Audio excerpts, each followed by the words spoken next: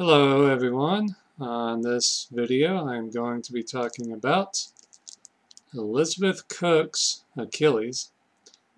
Now I got this from the library a week or two ago and uh, it's a really damn good book. I don't know if you can see the cover because it's got that fucking plastic covering on it but uh, yeah I uh, really enjoyed it. It's only I think it's only 107 pages long but um, it's a really, really well done piece of uh, literature.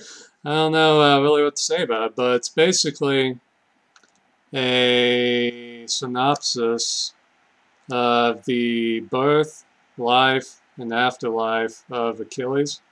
So it goes from when he was born, when he was fighting in the Trojan War, and when he dies in the afterlife.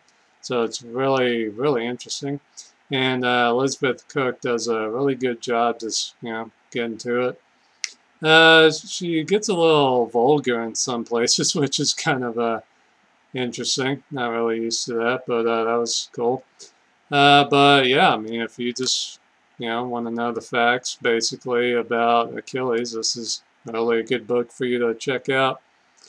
Uh, I really, I really like the beginning. The beginning, uh, I thought was really, really cool. The end is kind of odd, but maybe in a good way. I don't know. But uh, yeah, it's just a really good book, so uh, check it out. I'll definitely be buying my own version now that uh, after reading it, I liked it. So yeah, so uh, yeah, check out Elizabeth Cook's Achilles.